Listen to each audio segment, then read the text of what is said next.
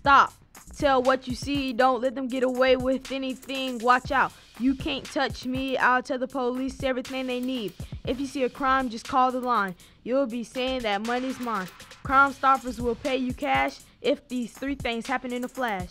An arrest, the recovery of stolen property, or the recovery of illegal drugs.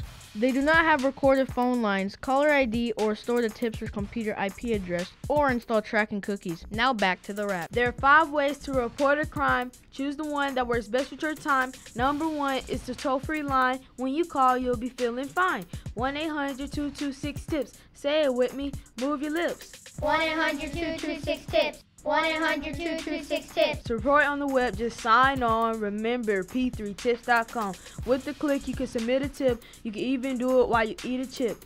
On your phone, you can get an app. All you have to do is tap, tap, tap. Go on the App Store or Google Play. You'll have it on your phone every day. HeartlandCrimeStopper.com is their site. Not to brag, but it's really tight. You can also go to their Facebook, browse around, and take a look. Let's recap so you remember it all. Go online or make the call. Crime Stoppers will give you cash if these three things happen in a flash.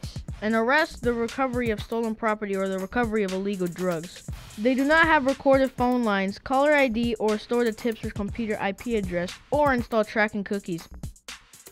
Tips are completely anonymous, it's true. Earn cash up to 500 for you. So don't be quiet and don't be shy. Speak up, help them catch the bad guy.